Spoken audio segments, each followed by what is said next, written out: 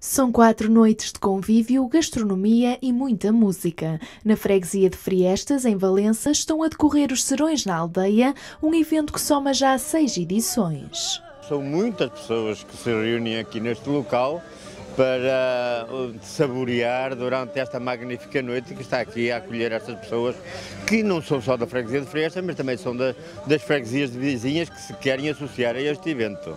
Tentamos promover aquilo que é de bom eh, em termos de gastronomia aqui da, da nossa, da nossa região e da nossa freguesia. Eh, uma das coisas é o, portanto, o anho assado em forno de lenha com arroz pingado, que é aquilo que hoje está a acontecer, e depois na segunda-feira, em face de um protocolo que temos estabelecido com um grupo infantil e juvenil também da Ilha da Madeira, da Camacha, as petadas em pau de loureiro, que junta sempre aqui, sempre à volta de 600, 700 pessoas. Até segunda-feira são esperadas centenas de pessoas para degustar os petiscos típicos desta aldeia. Era a saudade chorando,